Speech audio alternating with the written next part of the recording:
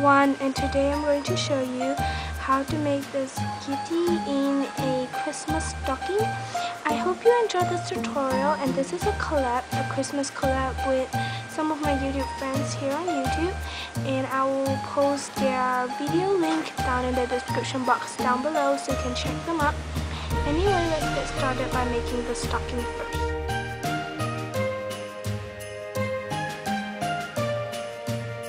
For the first step, you're going to sew on the white piece onto the red felt and do this the same step with your other piece of your felt.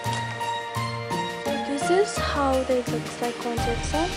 And as you can see, I'm using a blanket stitch so the at the back you won't see the messy stitches. And make sure that when you're sewing, you're sewing two of your felt pointing the same side, not the same, um, I mean different side, not the one that's the same because later you go, if you're doing this one and you're sewing here, then you're gonna get it. So yeah.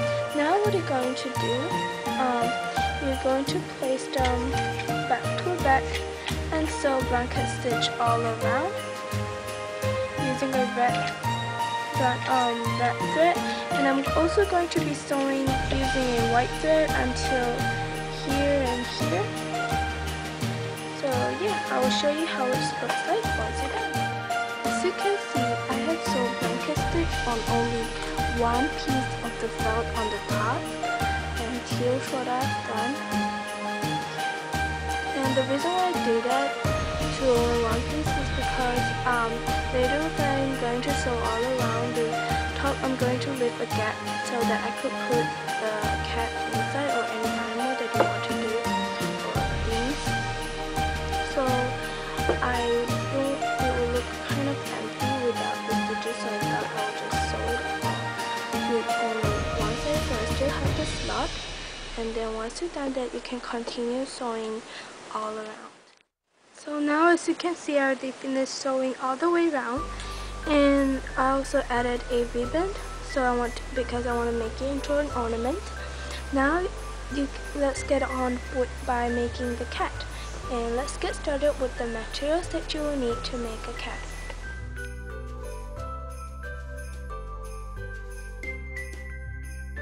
So for the for the first step to make a cat you're going to take the back piece of the face and the back piece of the body and sew on the tail onto the body and sew on the ears onto the face.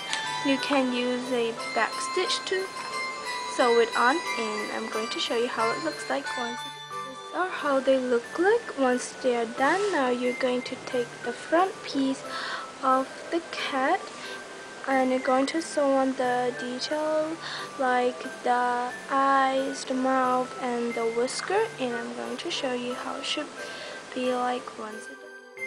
So as you can see I already on the eyes and the mouth and the whiskers and I also attached the hands on also as well as the leg. Now what you're going to do, you're going to place the body piece back to back and sew blanket stitch all around. So as you can see I already sewed the body piece together and already stuffed with stuffing.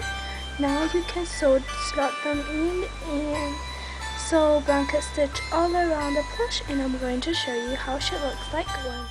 So this is how my cats look like and you can just slot it in to your Christmas stocking and there you go. You can hang it on your Christmas tree or anywhere else. If you don't like to make this cat just take another plush like example this penguin. Anything that is smaller than the slot slot it in and there you go a little penguin in a Christmas stocking. Or you can put some other stuff. I will show you a few examples. This was made by my sister. This mango right here or this white Totoro. This is also made by my sister. Or this Pusheen. Or this little fox. So yeah, you can also make this into a bigger version and put candies in it. Anyway, I hope you enjoyed this tutorial and thank you so much for watching. Merry Christmas and Happy Holidays. Bye.